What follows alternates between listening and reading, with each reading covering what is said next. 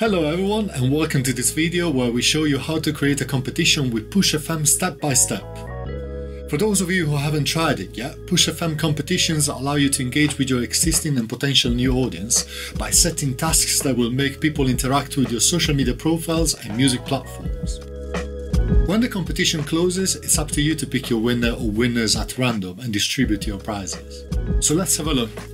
Once you've created your PushFM account at push.fm and logged into your account, click the pink plus button in the top left hand corner and select competition from the menu. Remember that competitions are available for premium subscribers, which costs only $5 a month. Then you'll need to input a competition title. This is the first thing anyone will see, so try to make it as engaging as possible. Then you have the competition's description. This is where you tell your fans what they could win. Maybe they get an item from your merchandise, or perhaps a personalized video.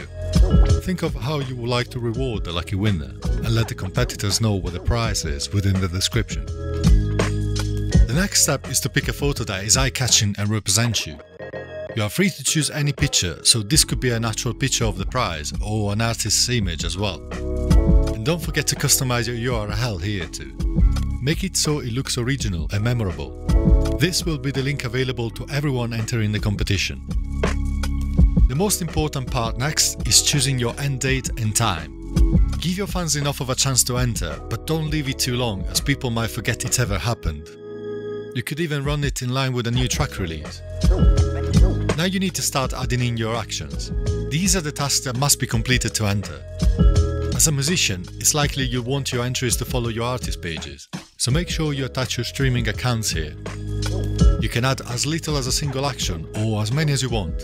For each action a fan completes, they will earn one entry into the competition.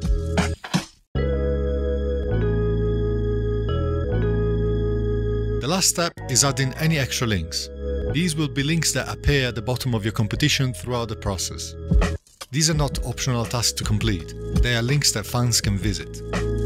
Could be a link to your latest music video on YouTube, or maybe you want to include a link to a specific website. Now that everything is in place, you can launch your competition and start sharing it. The more you share the link, the more entries you'll get. Once the competition has ended, you will be emailed a reminder to pick your winners, and then it's up to you to select them. This can be done by heading into your account, clicking on the competition and pressing the select winner button.